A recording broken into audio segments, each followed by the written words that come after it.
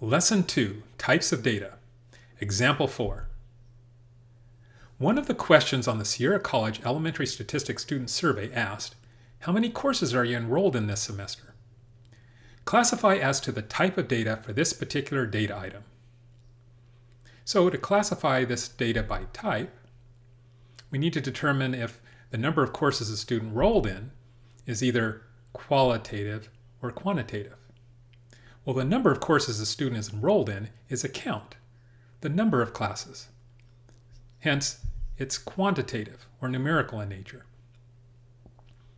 But quantitative data can be further classified as being discrete or continuous.